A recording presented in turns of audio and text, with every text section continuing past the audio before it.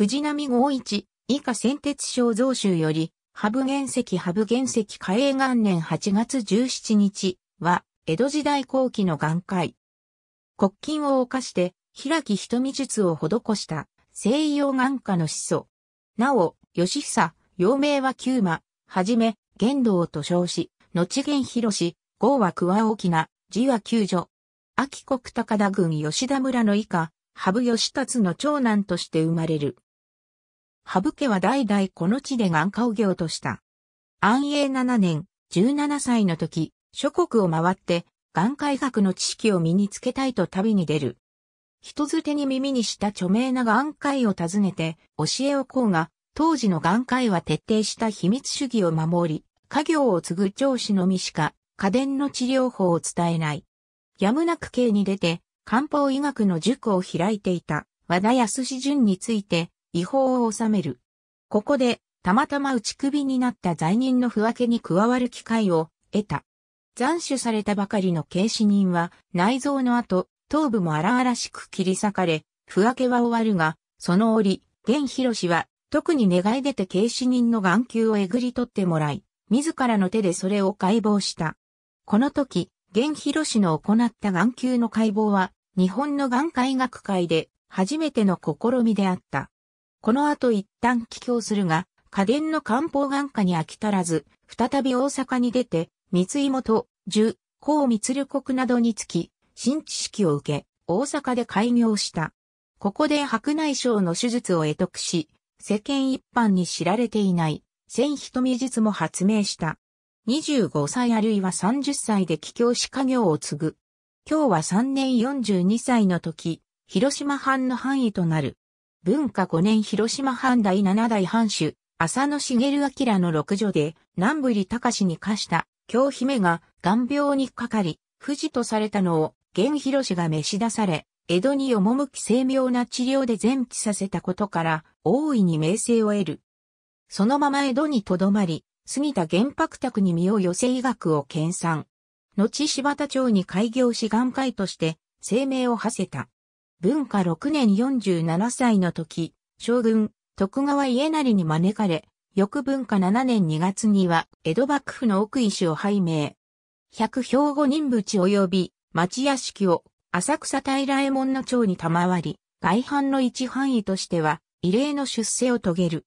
文化10年方言に除せられ、またこの現象も文政7年、西丸奥医師となった。玄広氏の財は莫大なものとなり、多額の金子や辞書を所有し、大名、武家、町人などにも金銭を貸し与えた。以下として最高の栄誉と富を得る身となる。後に入国した際に、市村座には2630両の貸付を、菊五郎と半四郎には、それぞれ200両と150両の給金前貸しがあったという。文政5年オランダ召喚付けの医師として来日したシーボルトが文政9年江戸に寄った時、現広親子はシーボルトに眼科について質問し、白内障等の手術に動向を開く、動向三大薬があり、それが眼科手術に絶対に必要なものだと聞かされる。現広は動向を広げる子の薬を分与されたが、それを使い切ると、再度の分与はシーボルトに断られた。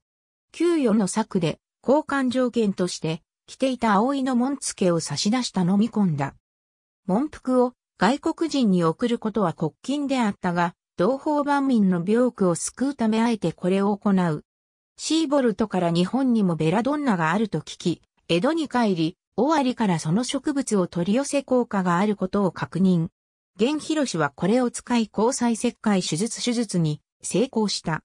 玄広65歳の時であった。ただしこの植物はベラドンナでなく、走りどころでシーボルトの勘違いだったのだが、これが走りどころがベラドンナに代用された最初と言われている。このため、後玄広が日本の実験眼科の外された。しかし、先のシーボルトに渡した文服は将軍から廃領の三葉葵の文服であったため、文政11年、その贈与が発覚。罪を問われ、監督を奪われ、獄に入り、晩年の大半を刑に服した。息子の減少は入国は免れた者の奥医師を免ぜられた。天保八年将軍、徳川家吉の眼病によって、息子の減少が再び召し出され、その治療の功績によって、奥医師に復帰して方言に除せられたのを機に、現広も許され、江戸木場に今日構えて、眼科を開業し、流星を極めたという。87歳で没。著書に、師団録、向井緑道満録などがある。現広氏は若い頃には強眼な性格が災いして、患者から敬遠されていたが、大阪で白内影によって他の医師から見放された盲人の治療に成功したことで、一躍その名が知られるようになった。また、この世で一番大切なものはお金であると公言してはばからず、万が一に備えて油村日本に多額の財貨を詰めて深川の水辺に密かに沈めさせた。入国中、家族はそこから生活費を取り出すとともに、釈放のための賄賂の原資として用いたという。青柳誠一は、江戸時代に町医者として、巨万の富を築いた東西の横綱として、京都の新宮領庭と共に、現広氏の名前を挙げている。講談や映画、歌舞伎、舞台などで知られる男の花道は、三代目、中村歌右衛門と、源広氏をモデルとする眼科医、ハブゲンスズリとの友情物語である。2006年には、滝沢秀明主演の時代劇ミュージカルの演目の一つにもなっている。ありがとうございます。